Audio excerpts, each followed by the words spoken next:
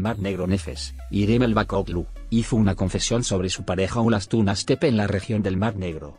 Aquí están las declaraciones de Irem el Bakoglu.